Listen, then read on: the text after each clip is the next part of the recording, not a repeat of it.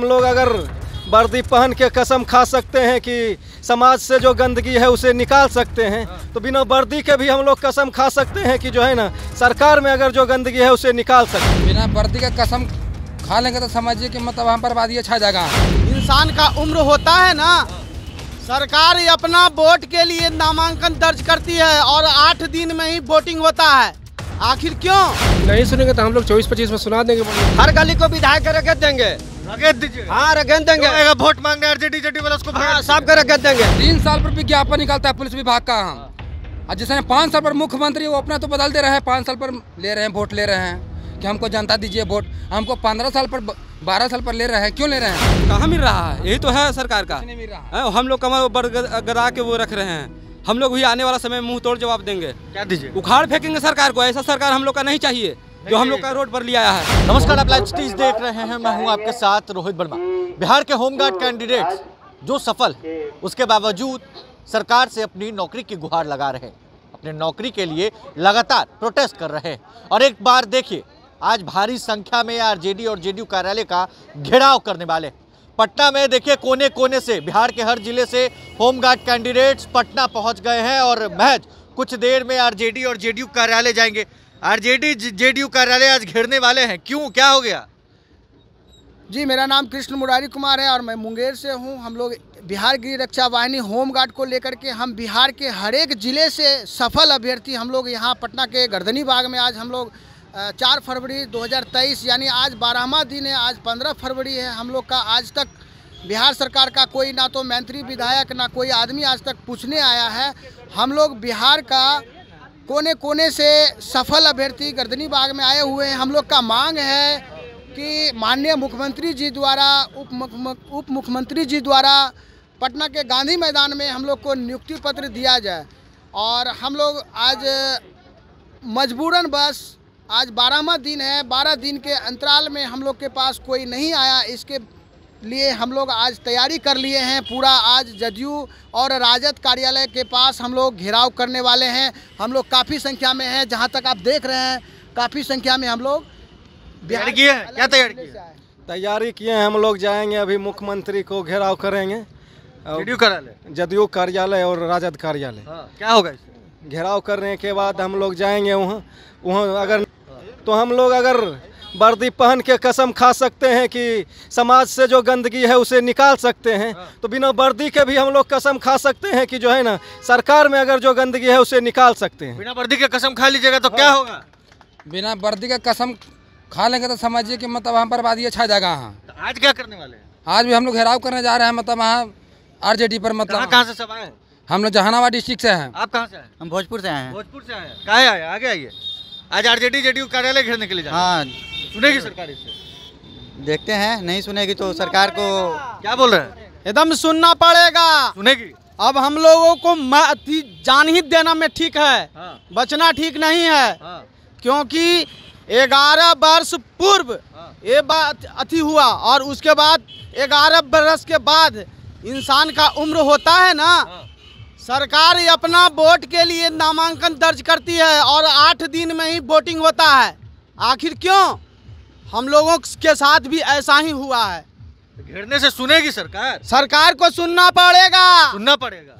हाँ मेरा नाम राजीव कुमार से नौगछिया से आए हैं हम। ये जो है बहाली जो है 2011 में ही निकला था। हाँ। और ये 2022 में लिया गया 11 साल के बाद लिया गया। हम लोगों का एज खत्म हो गया है। हाँ। इसका जिम्मेवार कौन है? सरकार है। अब जो हम लोगों को नियुक्ति पत्र देना पड़ेगा। 2011 का बहाली है 2023 चल रहा है। हाँ तो तो बाईस में हम लोगों का क्लियर किया है तो तेईस आ गया हम लोगों का अभी तक को- कोई जो नहीं मतलब नियुक्ति पत्र नहीं दिया हम लोगों का उम्र खत्म हो गया अब हम लोग क्या करेंगे? इसीलिए जो हम लोग जा रहे मतलब नीतीश का और तेईसवीं सरकार का जा रहे हैं घेराव करने के लिए। कार्यालय एकदम पूरा कार्यालय घेर लेंगे। घेरने से क्या होगा? होगा? जी सर मेरा नाम दीपक कुमार कहाँ से सिंह है। नौगछिया से आए हैं सर। हम जिला भागलपुर से आए हैं सर। हम अपनी मांग जो है सरकार के पास रखेंगे उनको जो है न्याय करना होगा। यही मेरा कहना है। लीजिएगा पूरा कार्यालय जी सर। जी सर। एकदम मन बना लिया। जी सर। कोई जाएगा रोकने तो? फिर भी चले जाएँगे सर। रोक लिया तो?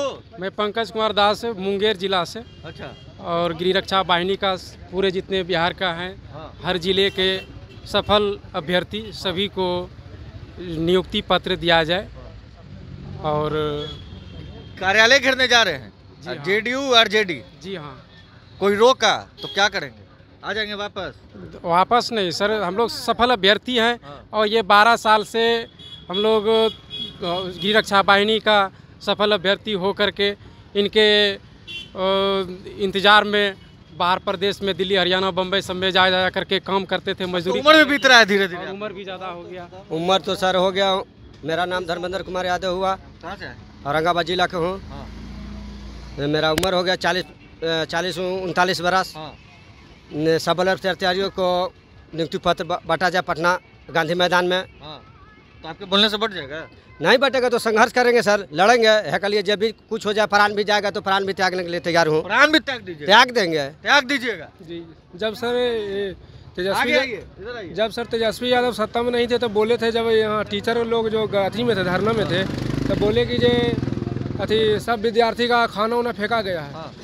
हम लोग सत्ता में आएँगे तो इसको जल्दी देखा जाए। अब सत्ता में है तो क्यों नहीं हम लोग का देख रहे हैं? बारह दिन हो गया सर बताइए। तेजस्वी बारह दिन से यही है? जी। आज क्या करने वाले आज हम लोग जाएँगे सर उनको बोलेंगे सुशासन क्या देते हैं। तो सुनेंगे? लगता है सुनेंगे। नहीं सुनेंगे तो हम लोग चौबीस पच्चीस में सुना देंगे बढ़िया सुन लेंगे?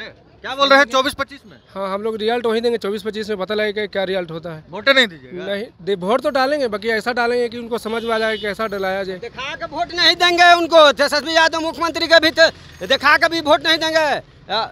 हर गली को विधायक रगत देंगे। रगेत दीजिएगा। हाँ रगत देंगे। वोट मांगने आरजेडी जेडी वाला उसको हाँ। सबके रगत देंगे।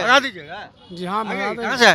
हम जहानाबाद जिला से आए हैं। तो उम्र भी आप लोग का बीत रहा है बहाली की मांग कर रहे हैं। लगता है कि गांधी मैदान में मिलेगा नियुक्ति हम लोग के कोई विकल्प है सर। हम लोग के तो समय बीते ना कि आप क्या करेंगे? अब रोड पर भटक ही ना रहे हैं कोई वैसा बहाली भी नहीं कितने आया। साल से भटक रहे हैं हमारा साल उनचालीस साल हो गया सर। उनचालीस साल हो गया। जी सर। क्या काम करते हैं? क्या हम करते हैं सर? खेती बाड़ी करते हैं सर। मतलब होम गार्ड में सफल होने के बाद भी खेती बाड़ी करते हैं? क्या करें सर? मेरा पास मजबूरी है सर। तेजस्वी यादव के पास भी आप लोग गए थे? हम तो गए हाँ, थे मगर गए थे गए थे मगर हमको कोई सुनवाई नहीं हुआ खरा कोई सुनवाई नहीं नहीं सर। नहीं हुआ कोई सुनवाई? नहीं सर तेजस्वी यादव भी गए हैं दो बार हम तीन बार। हाँ। कि सर हमको उम्र पार हो गया है। हाँ। तो क्या बोलते हैं वहाँ वो कुछ नहीं बोलते हैं। कुछ नहीं बोलते हैं? नहीं। आश्वासन। आश्वासन दे आश्वासन। जी के पास गए थे। बोले कि है मगर आपसे नहीं मिलेंगे। क्यों नहीं मिलेंगे? आप गाँव गाँव सावधान यात्रा करने जा रहे हैं नीतीश कुमार जी तेजस्वी जी। समाधान हो रहा है। हाँ समाधान हो रहा है। मगर जब हमको नहीं सुने तो किसका सुनिएगा? आ कहते हैं घर में बैठे मगर नहीं मिले। क्यों नहीं मिलेगा भाई? हम कहीं वोट पर आप कुर्सी पर बैठे हैं। बताइए बारह साल बाद कभी होमगार्ड रिक्शा वाहनी का कहूँ बहाली होता है? तीन साल पर विज्ञापन निकलता है पुलिस विभाग का हम। और जिसने पाँच साल पर मुख्यमंत्री वो अपना तो बदल दे रहे हैं। पाँच साल पर ले रहे हैं वोट ले रहे हैं। कि हमको जनता दीजिए वोट। हमको पंद्रह साल पर बारह साल पर ले रहे हैं। क्यों ले रहे हैं हमारा एज एज चालीस साल हो गया। हम आगे बहाली देखने लायक नहीं रह गए हैं ये थोड़ी है कि अग्निवीर फायरमैन आर आर्मी में देख सकते हैं हमारा उम्र खत्म हो गया हम। हम लुक में लहर में चिंगारी में दौगे हैं कितने साल संघर्ष किए जी? कितने साल संघर्ष किए इसके लिए? इसके साथ तो बारह साल मतलब इंतज़ार किए सर बारह साल लड़ाई लड़े। तो लड़ाई लड़े हैं तो अभी भी हम लोग क्वालिफाई है मतलब वहाँ। बारह साल लड़ाई लड़े। यस सर बारह साल में हम लोग तैयारी किए हैं तैयारी में भी सफल हो गए हैं तो ऊपर में भी हम लोग का नियुक्ति नहीं मिल रहा है। सरकार को सुनना चाहिए। जबकि वो गचत है की हम दस लाख युवाओं का नौकरी देंगे बीस लाख युवाओं का नौकरी देंगे। कितना मिला? कब कहाँ मिल रहा है? यही तो है सरकार का। नहीं मिल रहा। हैं, हम लोग कमर गदा के वो रख रहे हैं। हम लोग भी आने वाला समय मुँह तोड़ जवाब देंगे। क्या दीजिए? उखाड़ फेंकेंगे सरकार को ऐसा सरकार हम लोग का नहीं चाहिए जो हम लोग का रोड पर ले आया है। चाहिए कि नहीं चाहिए? नहीं चाहिए। क्या है भाई? बिल्कुल नहीं चाहिए। जब हम लोग का नहीं देख रहे हैं तो उन लोग का कैसे देखेंगे? पछाड़ती कोई भी इतना भी जितना भी होमगार्ड का जितना भी कैंडिडेट है सब गरीब वर्ग का आदमी है सब है। सब है जो जितना है जो सब कमाता खाता बाहर रहता है। वहाँ से जब विज्ञापन में निकला कि फलना फलना तारीख को बहाली है सब बाहर से दूर दूर के आया है। जाड़ा गर्मी बरसात में पूरे मेहनत किया पसीना बहा बहा के मन की फ़िज़िकल निकला। कौन ऐसा है कि चालीस पर परिणाम नहीं कुछ नहीं मिला। नहीं हुआ। पता है कि मेहनत सरकार ऐसी होनी चाहिए जो साले साल वैकेंसी निकाले और रोज़गार हमेशा देते रहे। वैसा सरकार चाहिए ये नहीं कि एकदम बर्बाद कर दे एकदम बिहार को। चौबीस पच्चीस में क्या होगा? चौबीस पच्चीस में जो सरकार अगर आने वाली हो बढ़िया सरकार बने सरकार रोज़गार दे हम लोग को भी नियुक्ति पत्र दे। बिहार के होमगार्ड कैंडिडेट से आरजेडी जेडीयू कार्यालय यानी माने महागठबंधन की सरकार के कार्यालय को घेरने के लिए निकलेंगे। और देखिए हर लोग कह रहे हैं कि 2024 और 25 में वो याद दिला देंगे बहिष्कार करेंगे कोई भी नेता विधायक आएगा वोट मांगने तो भगा देंगे खदेड़ देंगे। तो अब देखना है कि जब आरजेडी जेडीयू कार्यालय के लिए लोग निकलते हैं तो क्या कुछ होता है। क्या सरकार इनकी बातों को मानती है या नहीं? बहरहाल, इस खबर में बस इतना ही। अगर आपने अब तक लाइव सिटीज़ को सब्सक्राइब नहीं किया है तो जल्द से जल्द लाइव सिटीज़ को सब्सक्राइब कर ले, साथ ही साथ हमारे फेसबुक पेज को फॉलो करना वीडियो को लाइक शेयर करना, बिल्कुल भी ना भूलें। धन्यवाद।